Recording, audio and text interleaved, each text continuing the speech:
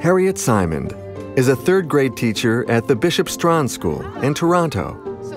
She's a strong believer in Jump Math's underlying philosophy and has been actively using the program since she discovered it 12 years ago. One of the myths is that you're either born with a math gene or you're not. So you either have it or you don't. And what Jump Math has uncovered and shown is that everyone has the capabilities of becoming an excellent mathematician if you're taught properly. John Mighton, who struggled with math, created Jump Math as a new learning approach for himself. He developed a full curriculum for primary schools based on his method called Guided Discovery. John occasionally gives classroom demos to help teachers better understand the approach and use of the method. There's a lot of research now on the brain that says that a lot of kids are suffering from cognitive overload. They're being asked to do too many things at once. And so in guided discovery, we break the challenges into more manageable steps. And so we wrote very detailed teacher's guides for teachers that show them how to scaffold lessons into manageable steps and sensible steps so the kids can make the discoveries. I liked how John taught us how to find new new patterns in multiplication tables like that I never knew. In guided discovery, steps are organized with one idea leading to the next.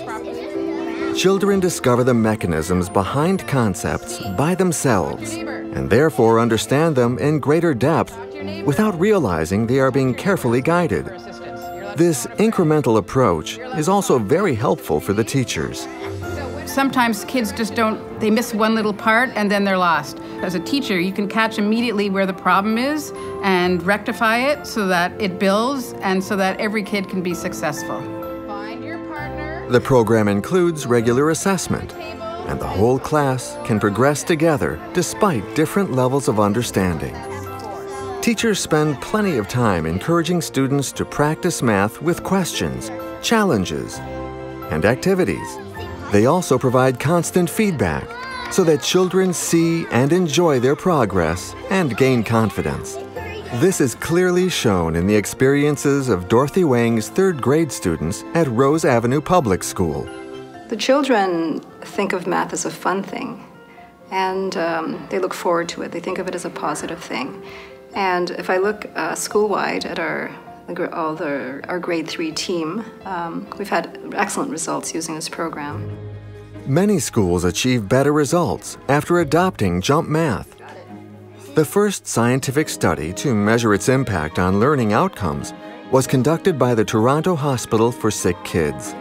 Over a period of five months, 300 students received Jump Math instruction we found that the students who received that kind of instruction actually grew twice as much as children in the same grade over the same period of time on this set of measures. They get the experience of succeeding at learning, and that then motivates them to keep trying and motivates them to keep building on that knowledge. I think that's just a really good practice for learning in general.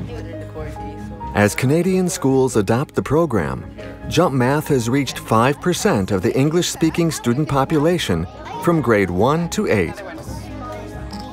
In the next five years, it aims to reach 20%. With the global challenge of numeracy, Jump Math has begun expanding in Europe and in the United States.